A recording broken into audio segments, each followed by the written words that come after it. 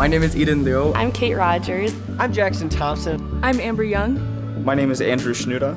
I study at the American University of Rome. I studied abroad in Costa Rica. I studied at LCC University in Klaipėda, Lithuania. I studied in Edinburgh, Scotland at the University of Edinburgh.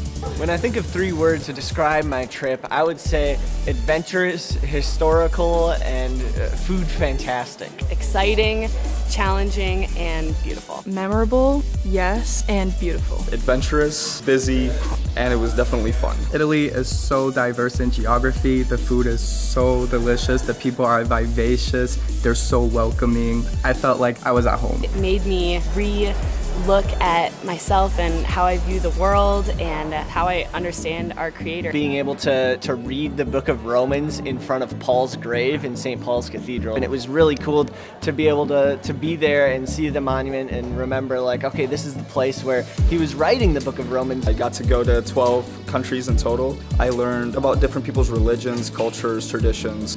It definitely gives you an opportunity to experience things that you didn't expect to experience and meet people that you didn't expect to.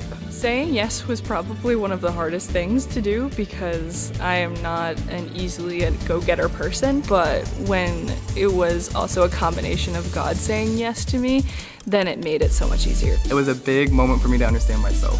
My advice would be just consider that the time is now, the time for learning and growing in yourself and growing your understanding of the Lord and the world. It was a total blast, would 100% do it again. Uh, if I could live there, I totally would.